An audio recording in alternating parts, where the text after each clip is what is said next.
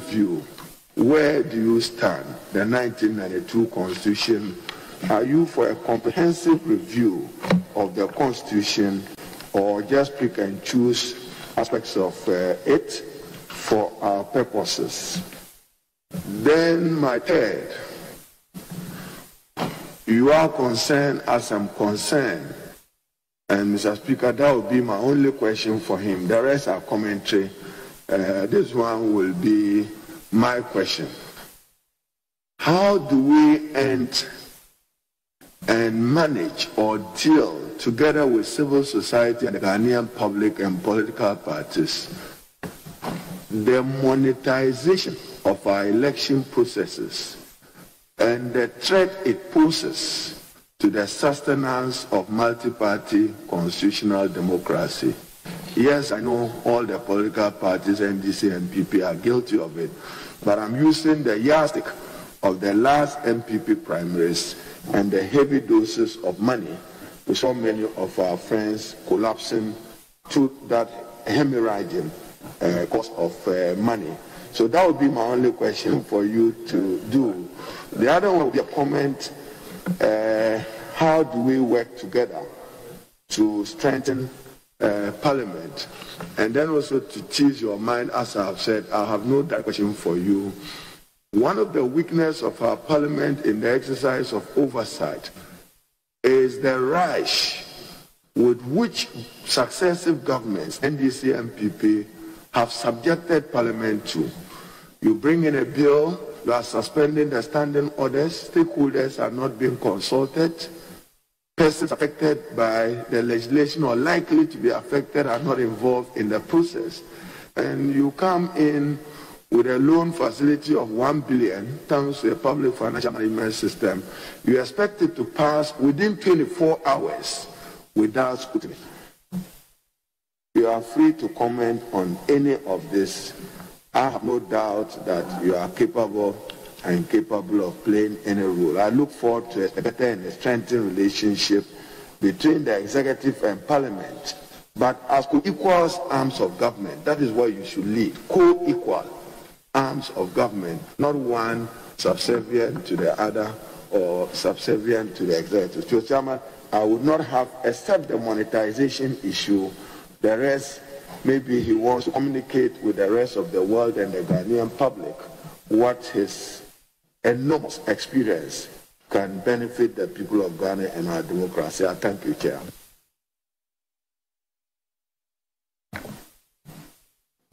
Mr. Chairman, um, let me let me also thank the minority leader, the ranking member of the committee, for the kind words. Um, the one issue about constitutional review, uh, he knows my opinion, and I think I don't believe in, you know, just tinkering with the constitution. I believe that there should be a holistic review of the Constitution. We are in Parliament, we have applied the Constitution. Indeed, we apply it on a daily basis. We know the weaknesses that confront us areas, in many areas, including even what he is alluding to, the process of amending the Constitution, uh, especially the entrenched ones, which seem to relegate the um, parliament to the backyard, even with the non-entrenched, what's uh, properly defined. So parliament as an arm of government will have many issues. Uh, you, you even speak about the, the, um, the bringing agreements and bills to Parliament. And sometimes we have to uh, set aside some of the orders. The Constitution is always uh, a bit confused about what to do when we have to abridge the process. You would realize, my, my colleague, that when you refer to um, Article 106, I think, Article 106. which deals with uh, the mode of exercising legislative power. Let's look at it. When you come to um, clause 13, which provides where it is determined by a committee of parliament appointed for the purpose that the particular bill is of urgent nature, the provisions of the preceding of the preceding clauses of this article, other than clause 1 and paragraph A of clause 2, shall not apply.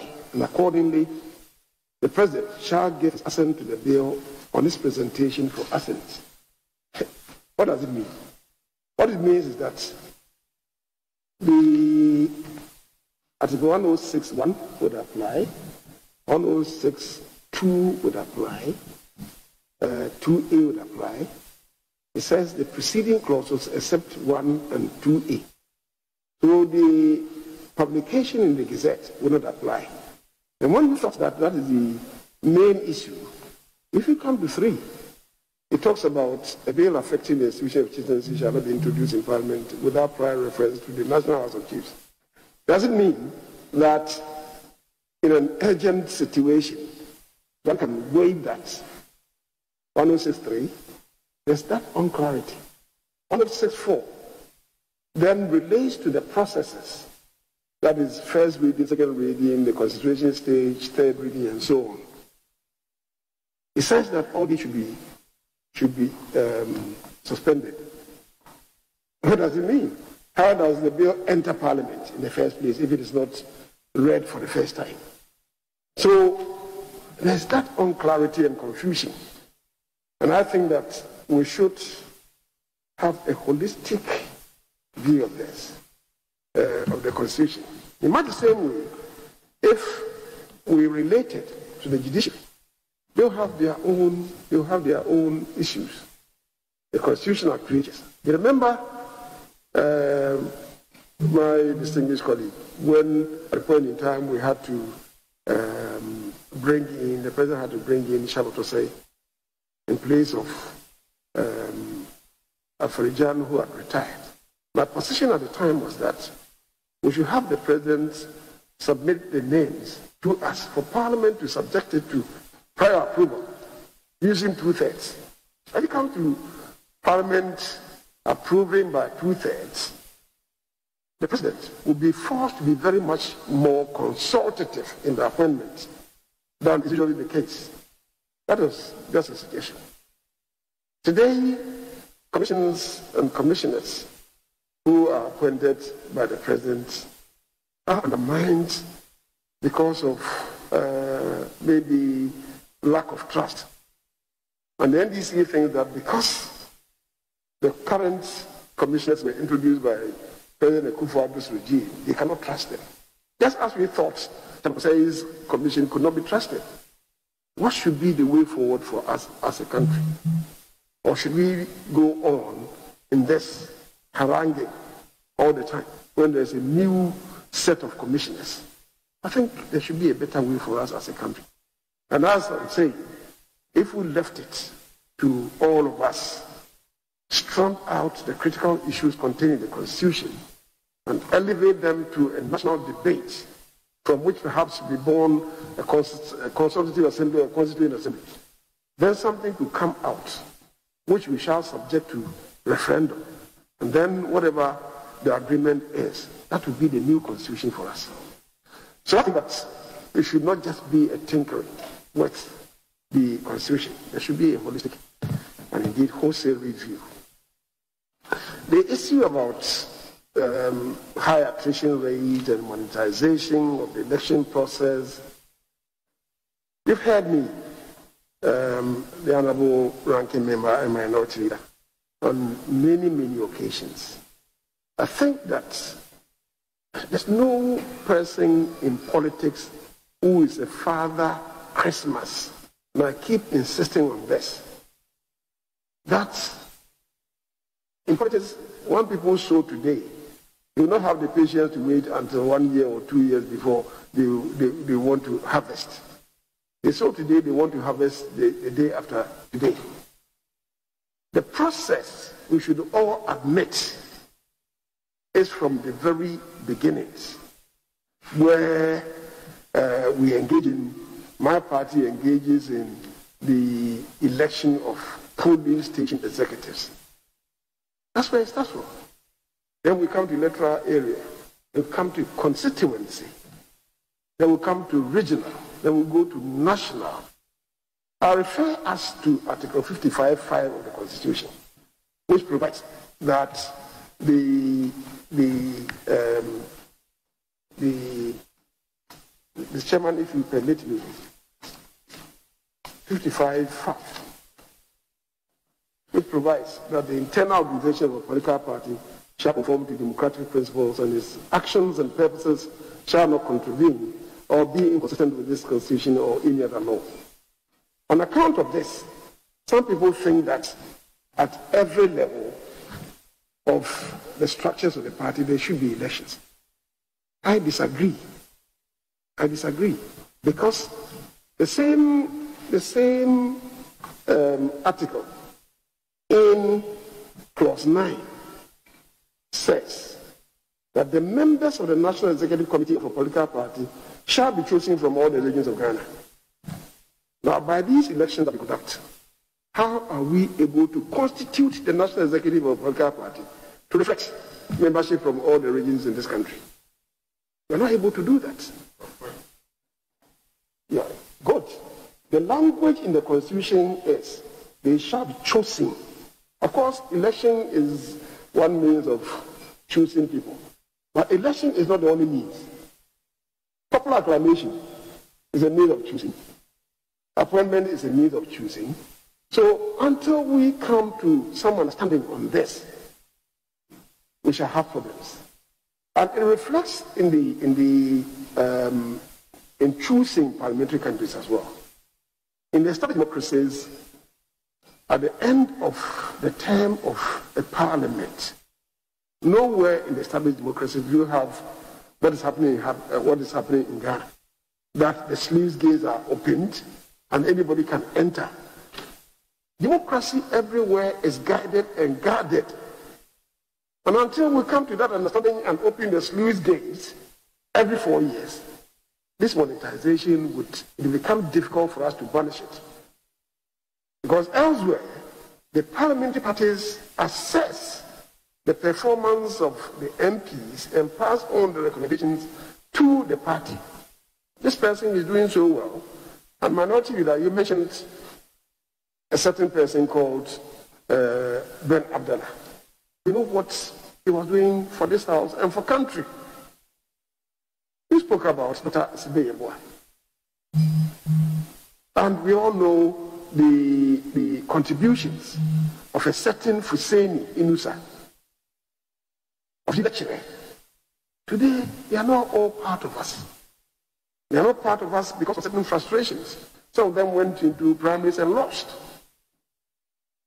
So, for how long are we going to continue in this process? And we all know that a lot of the considerations is not really what a person does in Parliament, but some other considerations that have nothing to do with the performance of business in this house. So that's where it starts from. And I think that not until the parties confront this reality, it will be difficult to stop the tide of the high attrition rate. Um, I think they have, have, attempted to answer the question on the rushing of bills through Parliament, and um, the other one is how to work together to strengthen Parliament. I think we are in that enterprise together. We're not together. Okay, we, we continue to be in that enterprise together. We've kept you here long enough. They said we have kept you here long enough as our leader. For our leader. Um, we thank you for attending upon the house. We are always in touch with you. We harass you from morning till evening until we get what we want. So we are sure that we will continue to be with you and after you for the things that the Parliament needs. Chairman, but what's the meaning of Sumpahine and Sumpahima? And is it spelled with U or O? S. What? If I'm home, Chairman. Some, some S-O-M is to serve. So Sumpa Hene is the chief of good, the person who renders good service to the community. Right.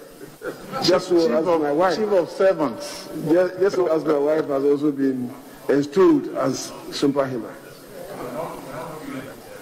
I'm not feeling the good service. In what respect?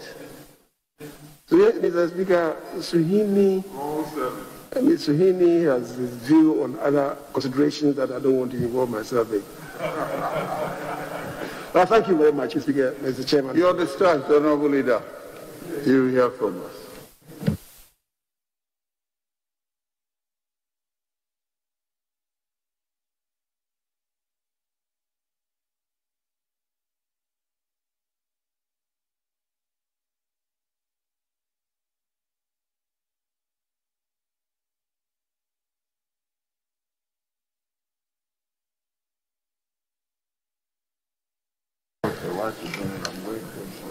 Ernest, nominee, please.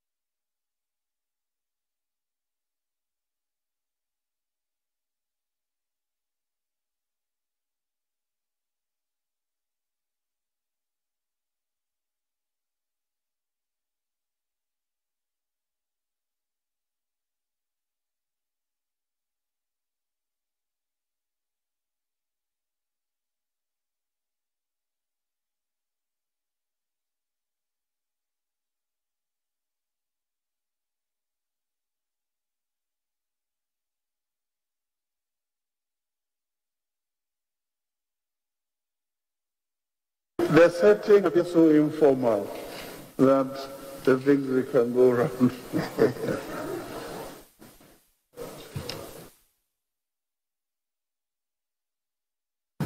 Kindly administer the oath, please.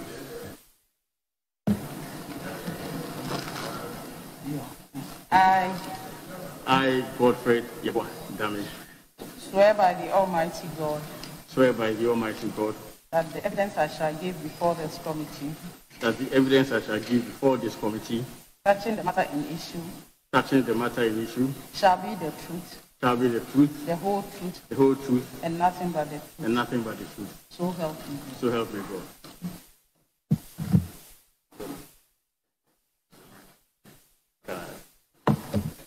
Mr. Godfred Yeboah Dame, on behalf of the committee, I congratulate you on your nomination as the Attorney General. It's an elevation. The last dispensation, you were a deputy. Now you've been made the substantive, nominated as the substantive Attorney General. We've vetted you once before. If some things have changed, we would like to hear them. But otherwise, tell us very, very briefly about yourself.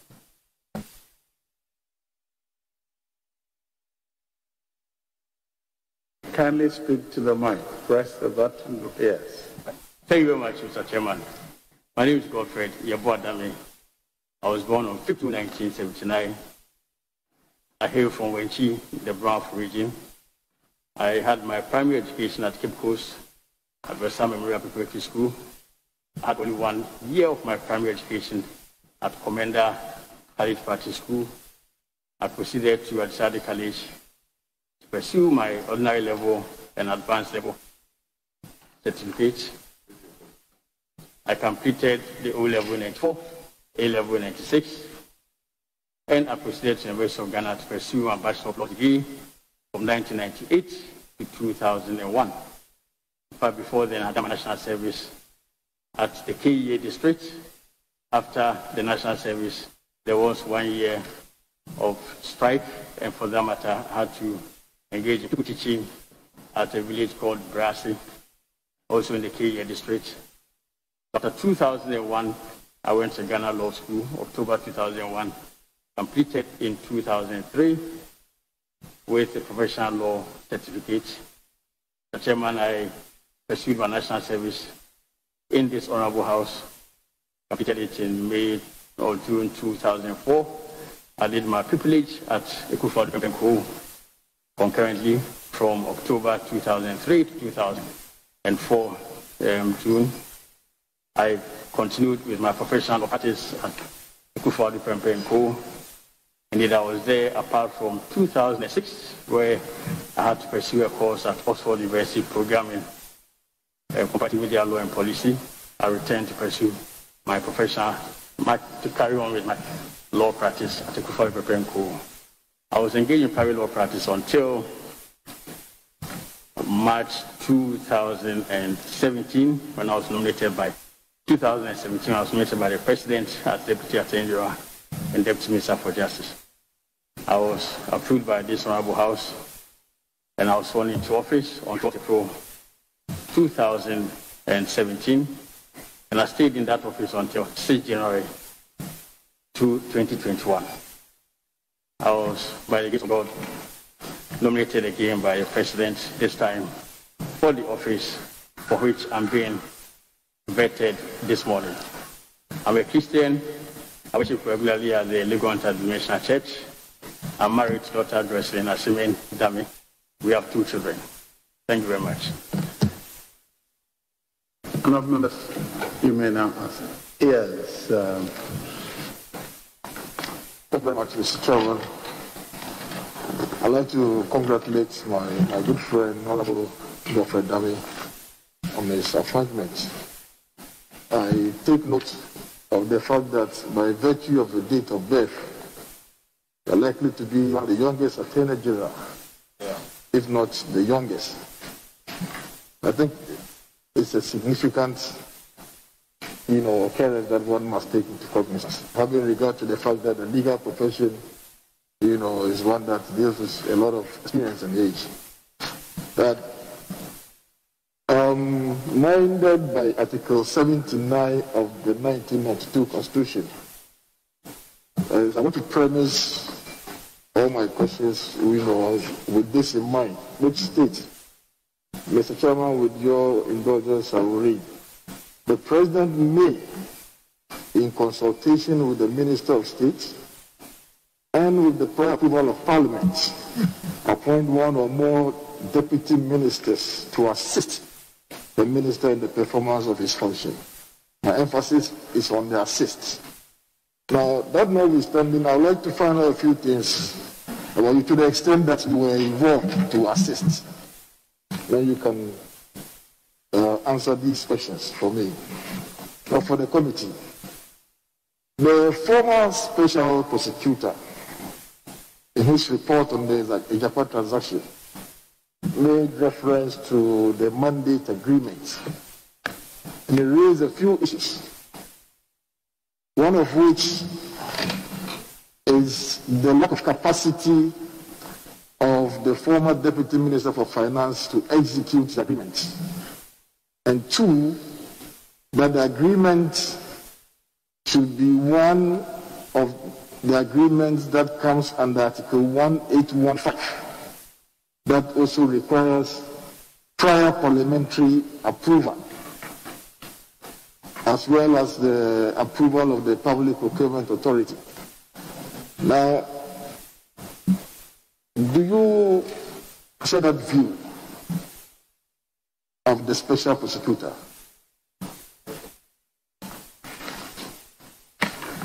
Chairman, thank you very much um, for the question.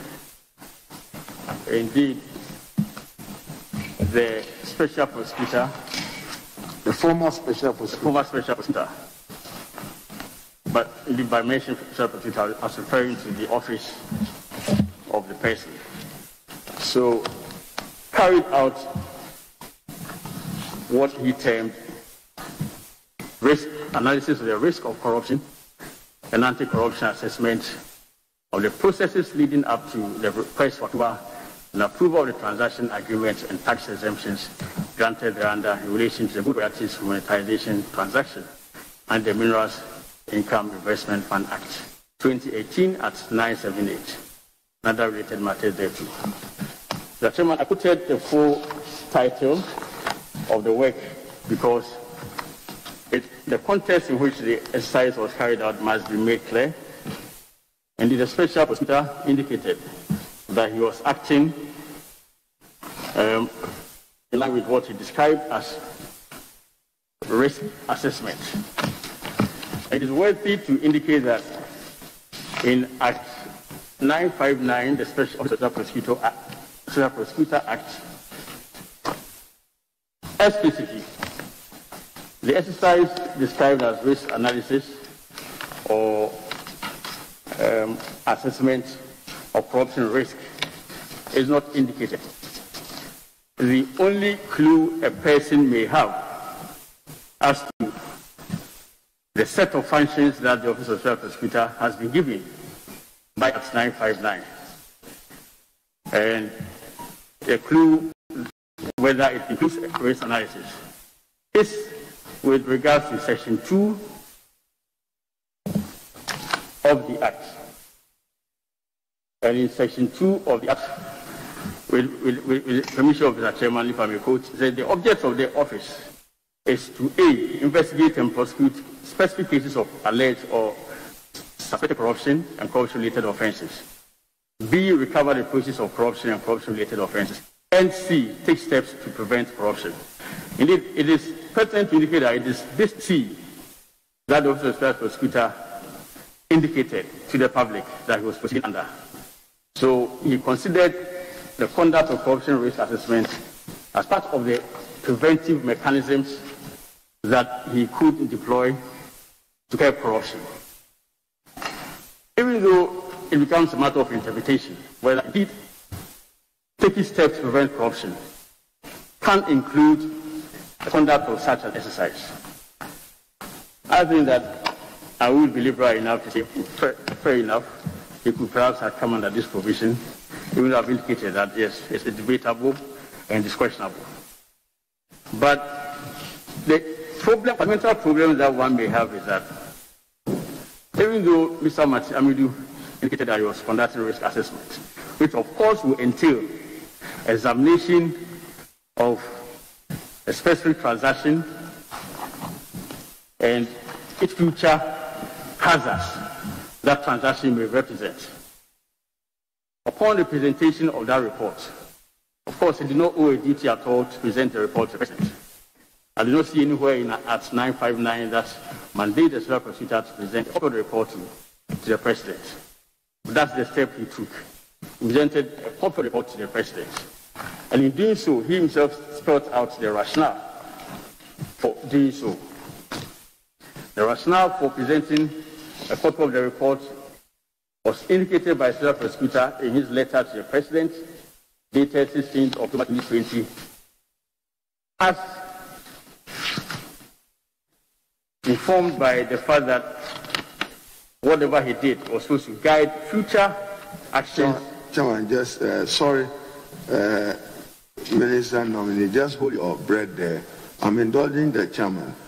You are saying that the special prosecutor was not required to present the report to who? To the president. To the president. To the president. It was not required. It's not required. Are you aware whether there was a referral from the president to the office of the special prosecutor? You have I'm any indication? I'm not aware. You are he not aware. indicated in his letter that he was carrying out the exercise, the exercise of his mandate under Section 2, paragraph C of Act 959. So that's the report. But you are aware that the special prosecutor, if you read the act that you referred to, was independent on, on any matter. Yes. He could institute an investigation for the purposes of the general good of the country. Do you agree with that? I agree, and that's not Okay, you can continue. Thank you. Mr. Chairman, and, and it's actually in line with that that I say that he was not obliged to present a proper report to the President. But he indicated in the re- report presented the President that he was doing so because the exercise that he was carrying out was only supposed to guide future executive actions of government. And for that matter, he did so. Now, the issue, the little fundamental issue I have is that if a report of this nature is prepared and is supposed to guide future executive actions of government, and same is presented to the president, and then from upon the perusal of the report, there's no indication of a grant of a hearing to certain public officers Honorable Attorney General nominee, was any of the people mentioned in the report contacted? Was any of the people mentioned in the report contact That's or about- the actors in the processes Right. contacted according to the report? Sure. So the Minister of Finance was indicated. There was also reference to the Minister for Finance in the report. The point I'm making is that even though those persons were not given a hearing from the report, and the Special Prosecutor had indicated that that report was supposed to guide future executive actions of the President.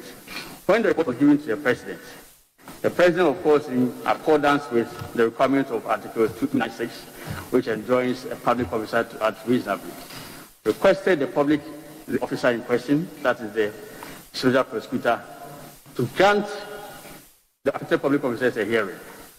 Then, surprisingly, the Special Prosecutor construed that request of a hearing to be an interference in his work, and so he resigned. That's my first point. Now, to address my. my Chairman, just so he resigned, are you attributing his resignation to that? Because there is a formal correspondence Yes. on his resignation. Yes, there is. Are you attributing his resignation of the special prosecutor, Martin Alambeza, uh, Alamis Amidu, to what? I just want to hear you for the record. Mr. Chairman, When you say then he resigned, what are you implying? Right. Mr. Chairman, he indicated clearly in the letter of resignation that he was resigning on account of the request of the President to, as it were, contact the Minister of Finance to be given a hearing. So it is the letter dated 16 November 2020 by which the special prosecutor And it's further, Chairman, your indulgence, it's further your submission that the special prosecutor did not hear persons affected by his report. Is that your submission to this House? The chairman, that is so, apart from the request for documents that he had made Thank you. of the Minister of Finance. So that is, I think, the unfortunate circumstance that characterized the work of the prosecutor. Now, to specifically address the question asked by the honorable member, whether I agree with the finding of the prosecutor that the deputy minister for finance then, such as Dubai, they don't have capacity to execute the mandate agreement. I respectfully disagree. I disagree because the capacity to execute a financial agreement has been indicated in the Public Financial Management Act. In there, you find that, Mr. Chairman, the capacity is given to the Minister for Finance or any person that the Minister for Finance may authorize.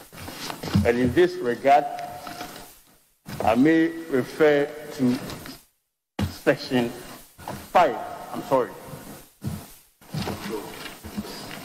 Chairman, may I just, just to be right. Mr. So section 5 of the, of the Public Financial Management Act indicates clearly that a person with the capacity to sign agreements under the Act rests in the Minister for Finance or any person not below the rank of a director that the Minister will authorize.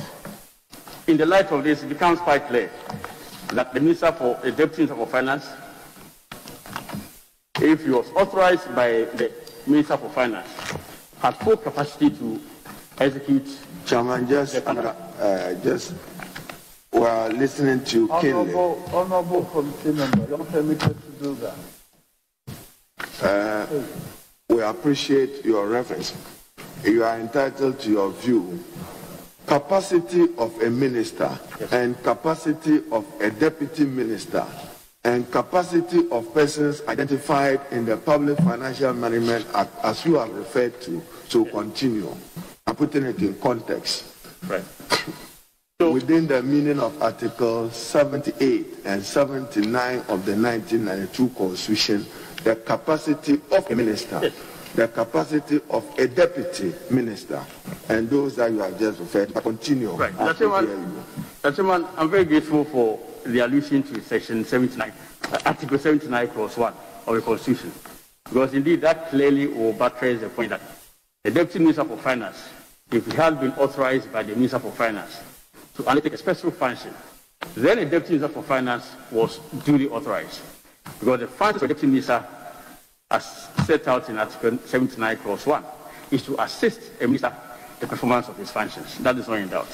Then section 5, section 1, paragraph C of the Public Management Act at 921 stipulates as follows. Pursuant to section 4, the minister may C. Acting on the advice of the Attorney General subject to the approval of Parliament, enter into and execute an agreement on behalf of the government in relation to matters of a financial nature. So primarily, the capacity to execute any agreement on behalf of the government of Ghana in relation to matters of financial nature rests with the Minister for Finance. Now, the provision goes ahead to stipulate in subsection 2 that the minister may delegate any of the responsibilities under subsection 1 to the chief director or to a senior public officer not below the rank of a director within the ministry, but shall not relieve the authority responsibility for performance the delegated responsibility.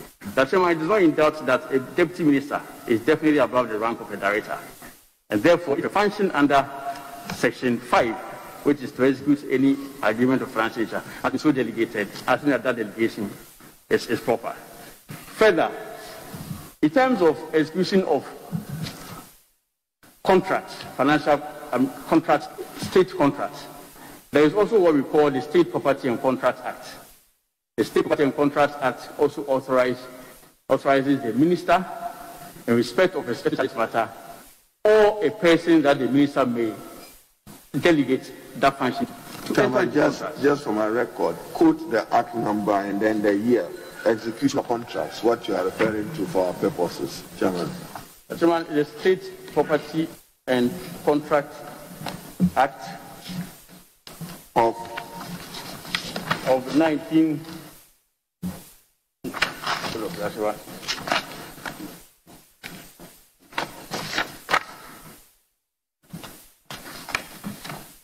Chairman, is CA6, 1960, CA6 is an old law. And it's stipulates in section 2 as follows. Just, just read the rendition full So for me, state- CA6. State Property Yes. and Contract Act, Okay, thank you. 1960, CA6. It's an old law. So the point that is being made is that even before the enactment of Act 921, authorization to execute government contracts is set out in law. And that authorization in section 20 of CA6 goes as follows. It says the minister responsible for a subject or department, any other person authorized by the minister may execute a contract for on, and on behalf of the republic on a matter falling within the minister's portfolio. So the operative words here are the minister responsible for a subject or a department or Honourable any other member, person I think, I think you're, spoken to authorized by this matter. So I, I believe- that finding, uh, with all respect, uh, it's not entirely accurate. That's my humble opinion. And indeed, I may also add that the special prosecutor, in the work that he did, essentially was expressing an opinion on a contract, part of which had been approved by this honorable house. Thank you. So if you're expressing an opinion, what are you doing now? What are you doing now? What am I doing now? Yes, That I'm expressing an opinion on his opinion. thank you. based on the questions that have been asked by the honorable member. Yes. Your mic. Thank you very much, Mr. Chairman. Now, some have held the view that the position taken by the former Attorney General, your immediate past boss, is that of one that is against the transaction. Are you able to confirm that is the position? Opinion is one that, that's what? Against the transaction. Mr. Chairman, I think that may be respectfully a little bit of uh, an erroneous view to take. I say so because the Attorney General's opinion on the matter, as far as I'm concerned, is a final one given on the matter. Now, there were a series of transactions, and I think I'm also placed on record that in terms of actual work on the Agyapa transaction, I was not part of it. I was not part of it because of the schedule of work at the Attorney General's Department. Work is assigned by the minister as the Honorable Minority Leader indicated. The deputy minister says the minister and work is assigned and that kind of. Even though I was not part of it, I've had the opportunity of examining the series of Attorney opinions delivered on the transaction. And I would say that the first one that came to my attention was the one dated 1st April 2019. And Mr. Chairman, you would note that the first opinion dated 1st April 2019 was actually Chairman, for the record, opinion by who? by the Attorney General. Name for Attorney the General, my boss, Madame Gloria Akuffo. Proceed, sir. Chairman. And indeed, that opinion constituted an examination of a draft agreement. And in the regular course of a lawyer's work, whether in private practice or public service, if your client has a draft agreement and the draft agreement is presented to you for review, the lawyer will conduct a preliminary assessment of the agreement and deliver an initial opinion. After, the lawyer may recommend to the client to undertake certain changes, amendments in relation to certain draft uh, provisions of the agreement. And that's exactly what the attorney general did in this case. The attorney general delivered her first opinion on 1st April 2019, and as I indicated, it constituted preliminary observations and recommendations. And the first one contains certain general comments. Um, part of it will indicate that she recommended that there be insertion of this provision or that provision, and that even certain provisions would infringe on the exchange laws of the country be um, taken out. Chairman, may I request of you that if the nominee wants to quote verbatim from it, would appreciate it. Or we have an assurance that he will tender this in evidence to our committee for our purposes. But if he can emphasize the areas to which, when you say general and specific, we are not holding it to follow you. So for our purposes, we need to be guided. And then if you, you just give the date of 1st April 2019, if you have the date of the second and third opinion, just give it to us. And then I take chairman's uh, lead that you would make those documents available to us. That's and then my is, you are you share the view that Gloria Akuffo, respected Attorney- Attorney General as she then was, did this within her mandate under Article 88 of the Constitution. Do you share the view? Fully. I fully share the view, and I also will add further that the first April 2019 letter by the learned attorney general did not constitute a final opinion on the matter.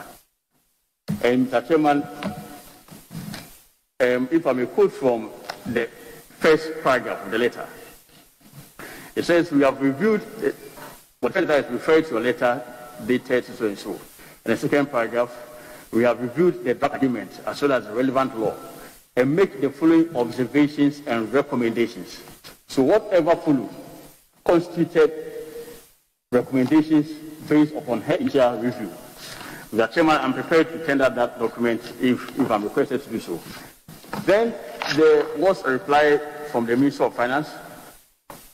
The General looked at the Minister of Finance's reply and wrote another letter dated 28 May 2020. I think the first paragraph indicates Come and just clarify, letter or opinion? The first, you said opinion, first April 2019. This one, is it a letter or opinion? What is your description? It was further observations contained in a letter. Okay, thank you. So the General wrote another letter, further bringing to that Minister of Finance's attention more observations that she had made upon the perusal, Uh, I'm sorry, the date, the further observations, the and it date. was dated 28 May 2020. 28th, May 28 May 2020. 2020. 2020. But the reply from Minister of Finance came on 18th March 2020. The Thank you. first letter by the Attorney General compelled the Minister of Finance to undertake a review of the transaction, and I believe that it took quite some time. So they delivered their reply about six or seven months later on, and that was dated um, 18th March 2020, which General by this letter, 28th May 2020, replied. And it's also available. And Mr. Chairman would note from the comments that it again did not constitute a definitive opinion on the matter at all, because it contained only further observations and requests for the alteration of certain provisions of the transaction. And Attorney General indicated a satisfaction of certain things that had been explained to her, pursuant to the letter that she had earlier on written. So, the chairman, that is also there. The Minister of Finance, a month later on, replied through another letter dated 22nd June 2020 and brought to the Attorney General's attention further amendments to the transaction documents.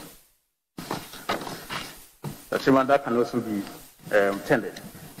And the Attorney General conducted further review of the draft agreements that had been made again, and by another letter dated 22nd July 2020, also furnished further comments which will aid a revision of the transaction. So it's also signed by the boss, Madame Gloria Akuffo, dated, so uh, that can all, all be tendered. The chairman, there was another letter written by the Attorney dated 5th August 2020. And that, as far as I know, was the last correspondence from the General to the Minister of Finance before the President's directive that the transaction be looked at again. So, the chairman, in terms of the observation by a person that the General was opposed to the transaction, I believe that that is egregiously wrong. It's very wrong and must be corrected. Indeed, all I have before me a series of letters containing observations written by the Attorney most of which were incorporated into the revised drafts that were undertaken by the Minister of Finance. Can I just a little clarity? So, by your submission so far that I have followed religiously, are you seeking to disagree with